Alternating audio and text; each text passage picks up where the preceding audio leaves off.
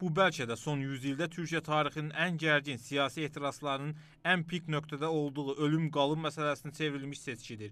Bu seçkiyə Türkiyə ilə qonşu olan dövlətlərin, eləcə də super güclərin marağı, açıq gizli müdaxilələri o həddədir ki, sanki ölkədə seçki yox, həlledici bir savaş olacaq. Gerçəkdən Türkiyə öz tarixinin ikinci istiqlal savaşının keçəcəkmiş kimi görünür. Bildiyiniz kimi qardaş ölkənin birinci istiqlal savaşı 101 il əvvəl 1919-cu ilin martından 1922-ci noktayabına qədər davam edib. İndiki seçkilərə baxırsan, görürsən ki, Türkiyənin daxili bir əsr əvvəlki kimi gərgin və təlatümlüdür. Əslində niyə belə olmalıdır ki? Hər kəs bilir ki, bu hazırki prezident Rəcəb Tayyib Ərdoğanın qatıldığı sonuncu seçkidir. Gələn dəfə o namizəd olmayacaq.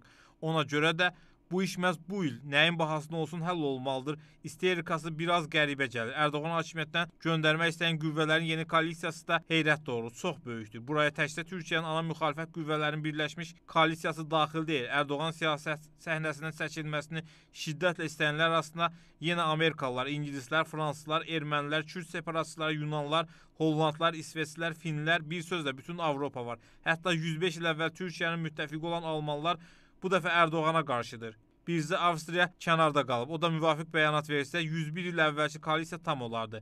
Bu qədər çoxsaylı qüvvələrin birləşdirən əsas məqsəd Ərdoğanın Türkiyə prezidenti olmamasıdır. Onlar bu dəfə Anadoluya hərbi qüvvə çıxarmayıblar. Əvəzində devrimçiləri maliyyə, kəşfiyyat, mətbuat dəstəyi verirlər.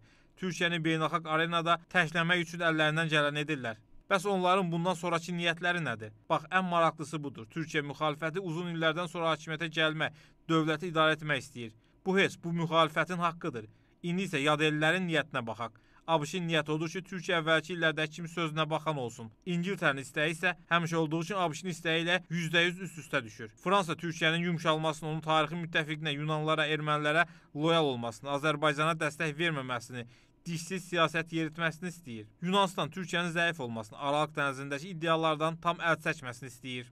Ermənilərin istəyi köhnədir. Sərhədlərin açılması, genosidin tanınması, Ağrı dağı ətrafındakı vilayətlərin Ermənistana bağışlanması, Ankaranın Azərbaycandan üz döndərməsi və s. Kürd separatistlər xəyal edirlər ki, Ərdoğan hakimiyyətdən getsə və yerinə qərb yönümlü qüvvələr gəlsə, ABŞ onları yenidən qapazaldı uşağa çevirə bilər. Yəni Kürd açılımı elan edərlər və onlar paytaxt Diyarbəkir olan Kürdistan dövləti qurarlar. Göründüyü kimi, kartın altında yenə də Türkiyənin istiqlaliyyəti və suverenliyi durur.